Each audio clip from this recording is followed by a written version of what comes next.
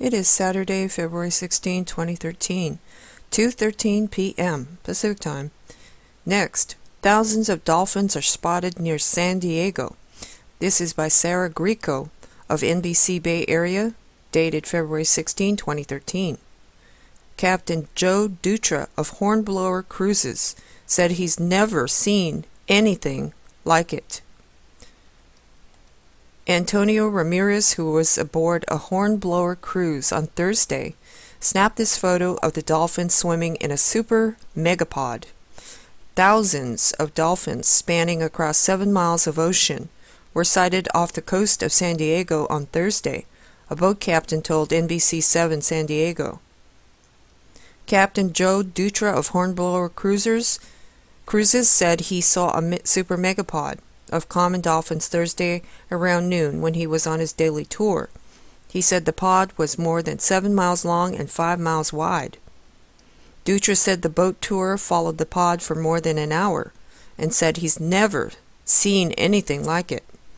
When you see something that is honestly, truly beyond belief, the captain said. Guests aboard the boat started screaming and pointing when they saw the school of adult and juvenile common dolphins Dutra estimated there were about 100,000 dolphins swimming in the area. Oh my goodness. They were coming from all directions. You could see them from as far as the eye can see, he said. I've seen a lot of stuff out here, but this is the biggest I've ever seen. Ever. Whale and dolphin watching tours have done particularly well this year with dozens of animal sightings reported. Marine mammal expert Sarah Wilkins said the reason the large pod might be there is because there's plenty of food in the area, including sardines, herring, and squid. They're attached or attracted to this kind of the same thing, they might wind up in the same place, she said. Though dolphins tr typically travel in groups of 200 or less, Wilkins said superpods are not unheard of. They're definitely social animals. They stick together in small groups, she said, but sometimes the schools come together. Dutra, who's been boating for decades, said he felt lucky to enjoy such a rare phenomenon. You had to be there to experience it, he said. It was truly spectacular. Whoa. And I'm going to try to enlarge that photo for you.